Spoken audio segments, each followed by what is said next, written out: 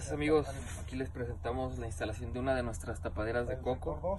Aquí el, como pueden ver, tenemos una, una variedad que estrella aquí de dos años, una maceta root pot. Este, podemos observar la concentración de maleza que ha, que ha generado en estos dos años o meses. Aquí, como podemos ver, una maleza que está arraigada aquí el proceso. Primero quitar toda la maleza que, tenemos. Quede bien limpia la, superficie que vamos a, cubrir. Fijarnos que quede bien todo limpio para que no quede ninguna ninguna partícula que nos pueda volver a brotar la maleza. Manejamos aquí podemos ver un diámetro de 39 centímetros y aquí una tapadera de 45 centímetros. Como podemos ver aquí ya está un poco más eliminada la maleza se la quitamos manualmente.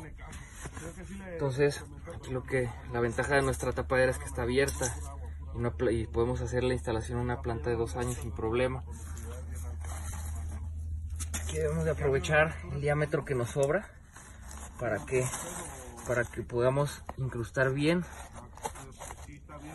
nuestra tapadera que no quede ningún espacio donde pueda haber pueda pasar la luz y que tenga contacto con el sustrato que es lo que provoca la maleza.